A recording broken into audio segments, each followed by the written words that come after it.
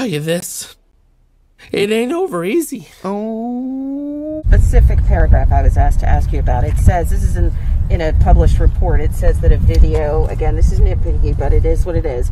Uh, a video shows a maskless breed, neither seated at a table nor positioned at a stationary counter, standing and dancing without any food or drinks in her hand. She also posed for photos while not wearing a mask. Oh. Okay, so just to be clear, um, um, I was sitting at my table, and when I don't know about you and whether or not you know who Raphael Saadiq and Dwayne Wiggins are, but I don't know about you, but if you know who they are, I don't care where you're sitting, you're gonna get up and start dancing. My drink was sitting at the table.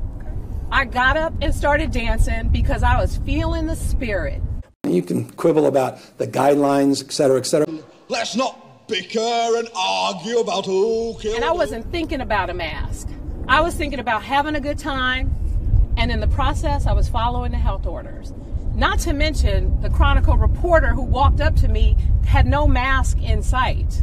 When I took a picture, as I do in any case or do an interview, yes, I take my mask off when I want to take a picture. I don't need to, I'm vaccinated. I don't need to wear a mask and take a picture every single time. I don't want to.